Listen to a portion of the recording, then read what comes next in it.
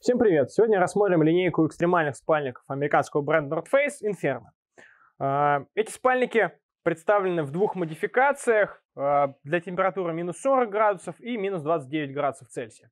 А, сразу скажу, что они отличаются только лишь количеством утеплителя и, соответственно, температурой использования. Теперь сравним их по весовым характеристикам. Итак, спальник Inferno 40 в ростовке Лонг весит 2 килограмма 100 грамм с учетом компрессионного чехла и сумки для хранения. И спальник Inferno 29 с учетом компрессионного чехла и сумки для хранения весит 1 килограмм 865 грамм. Отмечу, что и тот, и другой спальник у нас представлен в ростовке Лонг.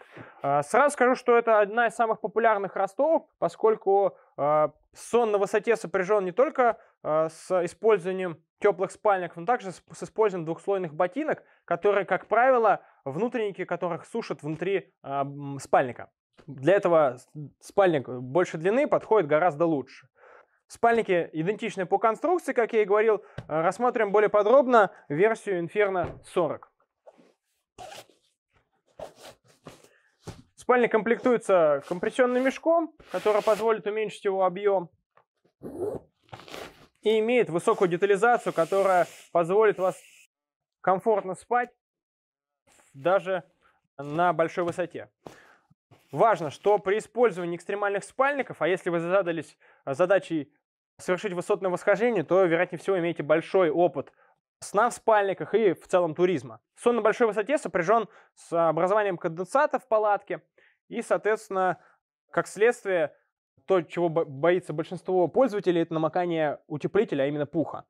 В спальнике Inferno зона спальника, которая повышена, сопряжена с соприкосновением с краем палатки, здесь она в данном случае имеет прострочку, это зона пяток, зона таза, зона лопаток, и зона головы, она дополнительно утеплена синтетическим утеплителем, который менее прихотлив к уходу и меньше слеживается, и также греет даже в случае намокания.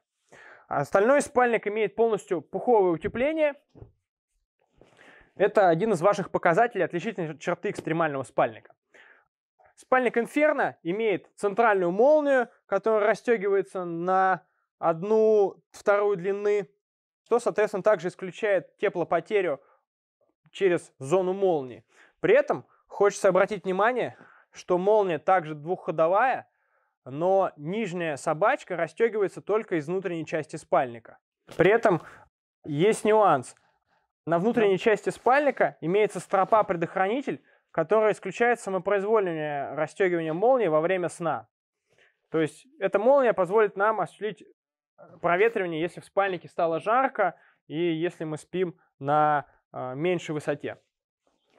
Молния дублируется валиком, который исключает миграцию тепла, и специальной накладкой, которая предотвращает попадание подкладки в зону молнии.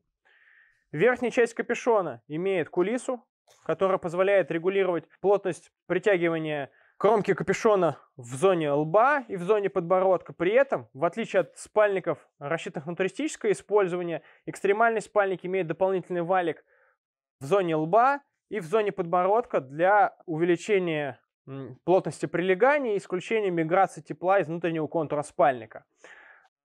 Кулисы здесь две, поскольку центральная молния и чтобы регулировать плотность прижатия с двух сторон нижней кромки подбородка.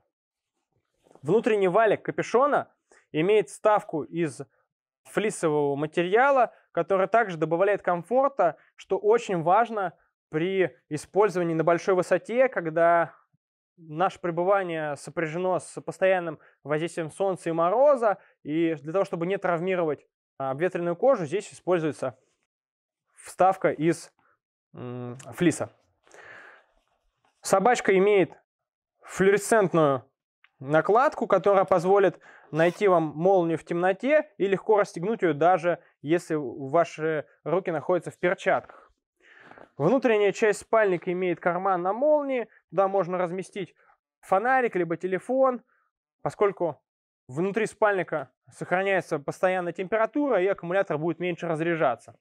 Этот спальник использует утеплитель 800 Power из линейки Pro в соотношении пуха к перу 90 на 10, что позволит, не достигая а, большого веса, иметь высокий объем, а как следствие высокую термоизоляцию для использования на большой высоте.